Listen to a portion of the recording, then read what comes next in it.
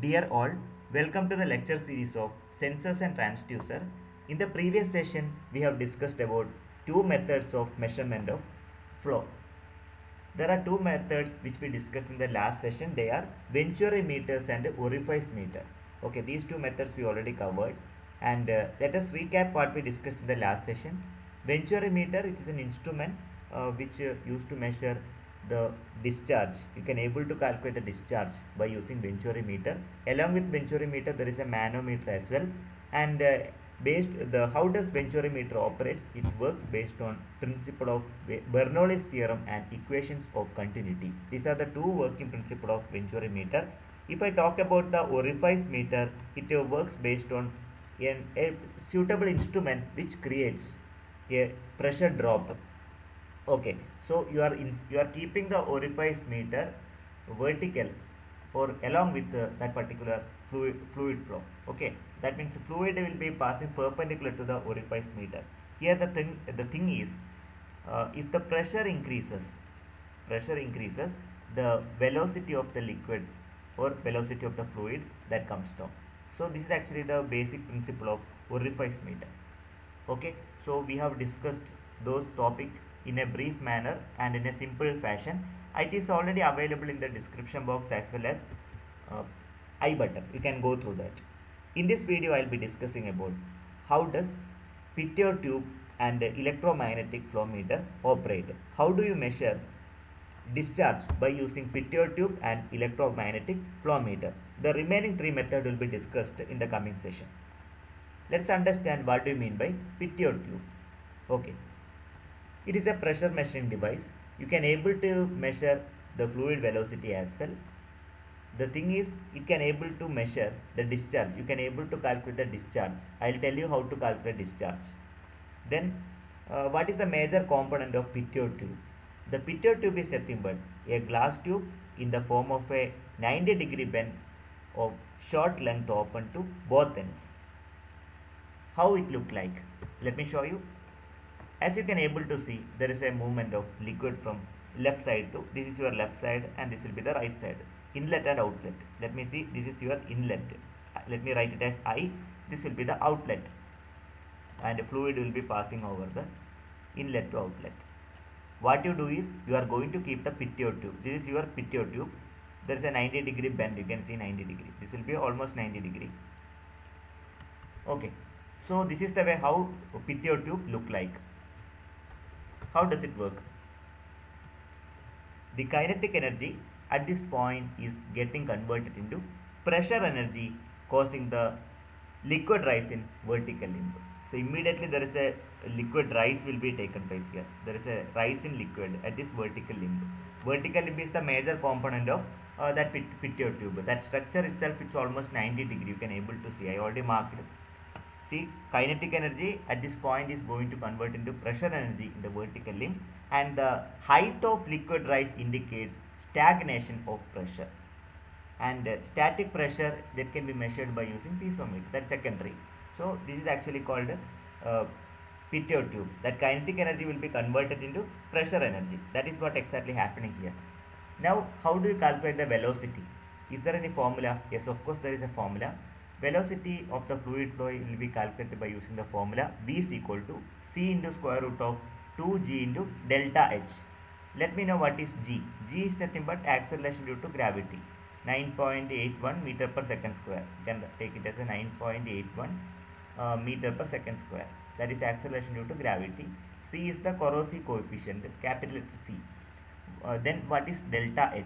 Delta h is nothing but uh, y into sm divided by s minus 1 okay so what do you mean by sm? Sm is nothing but specific gravity of manometric liquid. Okay there is a manometer that is attached over there. Then uh, s is nothing but specific gravity of the liquid flowing through the pipe. Okay so this is what exactly uh, how does pitot tube operate okay so kinetic energy will be converted into pressure energy. You can able to calculate the velocity of fluid flow. Then you can able to calculate the pressure. Okay and you can able to calculate the discharge also. So this is actually called a pitot tube. Now let me ask one thing. How does electromagnetic flow meter operate? The major purpose of electromagnetic flow meters are uh, to measure the flow of slurries, then flow of some sludges and uh, flow of electrically conducting fluid, especially colloids, okay, movement of colloids and you can able to measure some uh, the movement of alkalis, uh, some special kind of material which you cannot able to use the conventional method like venturi meter, orifice meter, pitot tube etc. So this is actually one of the indirect method, electromagnetic flow meter. We can call it as electromagnetic flow meter is purely a transducer.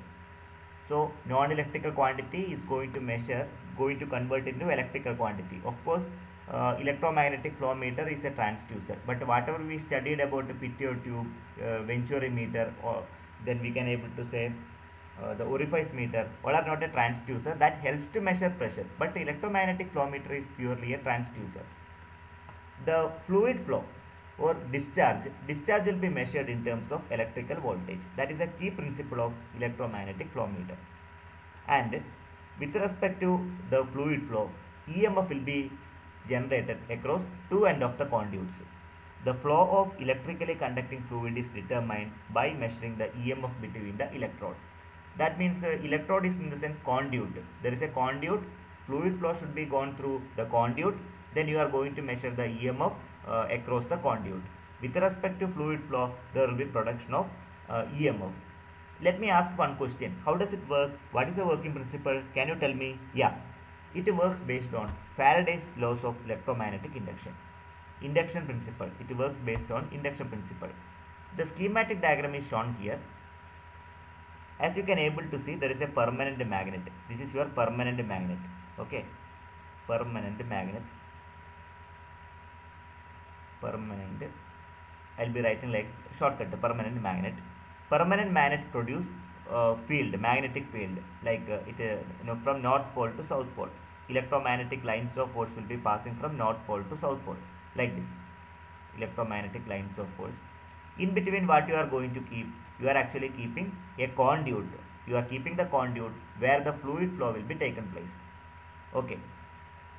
Now at the end of conduit you are keeping two electrodes as you can able to see electrode 1 and 2 will be keeping at the conduit.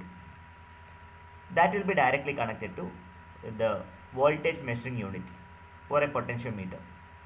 With respect to the fluid flow the emf is induced across the conductor thereby the mill, uh, the millivoltmeter or potentiometer let us see millivoltmeter that gives the reading. Okay so this is actually the working. You can able to see a conduit. Fluid flow will be taken place to the conduit. Electrodes are attaching at the top and bottom end. You can able to see two electrodes are attached at, uh, in between or through the conduit. And the conduit is having the insulate insulation. So sufficient amount of insulation is there. Okay there are certain amount of insulation.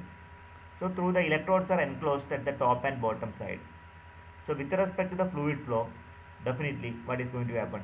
So electrodes you can able to see. Electrodes are kept it over there these are the electrodes okay? So you will be collecting. If i connect a if i connect a voltmeter definitely if i connect a voltmeter okay?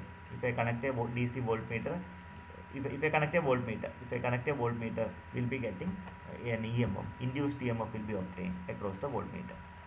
So electrically conducting fluid is kept between permanent magnet. Why permanent magnet means electric field is going to produce by permanent magnet. That's a speciality. Uh, now the magnetic field and the fluid flow are perpendicular to each other. EMF will be de developed based on the Faraday's laws of electromagnetic induction. That EMF can be calculated by using the formula by BLV sine theta. Okay, where uh, B is known as flux density, L is known as length of the conductor.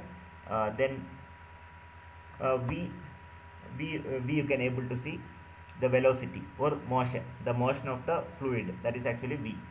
Okay, so if the theta is maximum, we will be getting the maximum EMF. So you can able to calculate the uh, EMF by using the formula BLV into 10 to the power minus 8 and also discharge can be calculated by using the formula pi by 4 d square into V.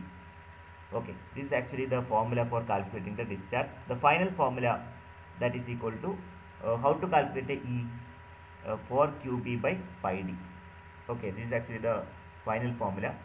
Okay, this is the way how the electromagnetic